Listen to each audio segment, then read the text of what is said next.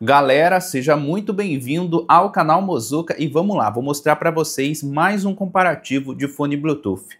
Este é o modelo Redmi Buds 5 e este o fone QCY Melo Buds Pro. Vou mostrar o comparativo desses fones. Se você quiser comprar qualquer um desses modelos, eu vou deixar os links na descrição do vídeo. Os dois fones eu achei muito bom pelo valor, são dois fones de qualidade, vou deixar o link deles na descrição do vídeo. E vamos lá, vou falar um pouco sobre cada um desses fones, vou falar algumas diferenças entre eles e também vou falar qual dos dois eu achei melhor. Olha a diferença dos fones, o material da case do modelo QCY Melo Buds Pro é melhor em comparação com o modelo Redmi Buds 5. O material dos fones dos dois modelos eu achei bom. E alguns pontos positivos dos dois fones é que os dois têm Bluetooth 5.3, conector rápido no smartphone pelos testes que eu fiz os dois modelos também contam com sensor, assim que você tira o fone do ouvido, ele pausa a música. Os dois têm touch, os dois também contam com aplicativo. O fone da Xiaomi é compatível com o aplicativo Xiaomi AirBuds, enquanto o fone da marca QCY é compatível com o aplicativo QCY. Os dois modelos têm cancelamento de ruído ativo de 46 decibéis, aliás, muito bom. São esses alguns detalhes e algumas diferenças entre eles. Os dois fones têm conector USB-C para carregar a case e outro grande destaque dos dois modelos é a autonomia da bateria dos fones. Enquanto o fone da Xiaomi você consegue escutar aproximadamente 10 horas de música contínua com o modo de cancelamento de ruído ativo desativado, o fone da marca QCY você consegue escutar aproximadamente 8 horas e meia de música contínua com o modo de cancelamento de ruído ativo desativado. Achei muito boa a autonomia da bateria dos fones dos dois modelos, principalmente do fone da Xiaomi.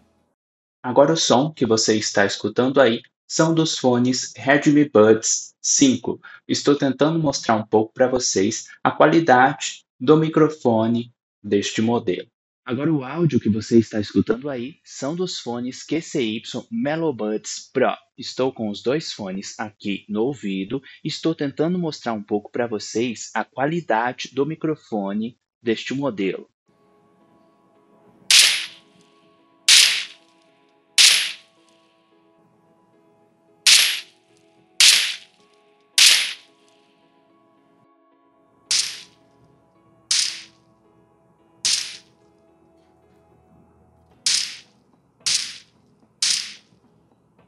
Olha a diferença dos fones, como eles ficam no ouvido. Achei os dois bastante confortável, principalmente o fone da marca QCY.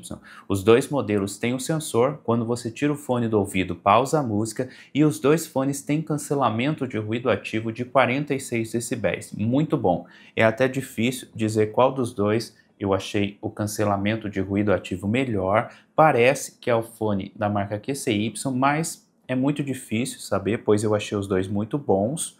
Os dois têm touch, que funciona muito bem, e esta é a diferença entre eles. Eu também achei bom o material dos dois fones. E outro grande destaque dos dois modelos é a qualidade de som. Os dois fones têm uma qualidade de som muito boa, tem bons graves, não perde a qualidade no volume máximo, você consegue editar os efeitos de som no aplicativo. O fone da Xiaomi é compatível com o aplicativo Xiaomi AirBuds, enquanto o fone QCY Melo Buds Pro é compatível com o aplicativo QCY.